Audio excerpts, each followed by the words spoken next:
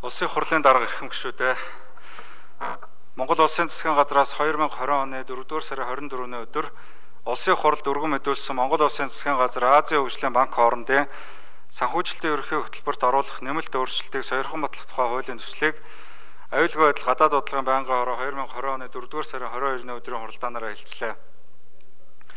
Байнгын хорооны хуралдаанаар хуулийн төслийг хэлцэх үед санхүүжилтийн ерөнхий хөтөлбөрийн нэмэлт өөрчлөлийн талаар асуулт асуух үг хэлэх гишүүд гараагүй болно.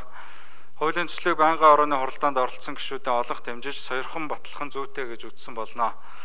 Улсын хурлын эрхэм гишүүдээ санхүүжилтийн ерөнхий хөтөлбөрт оруулах нэмэлт өөрчлөлтийг сойрхон батлах тухай хуулийн төслийн талаарх аюулгүй байдал гадаад бодлогын байнгын орооны санал дүгнэлтийг хэлэлцэн хуулийн төслийг баталж өгөхөд тав бүхнээс хүссэн анхаарал тавьсанд баярлалаа.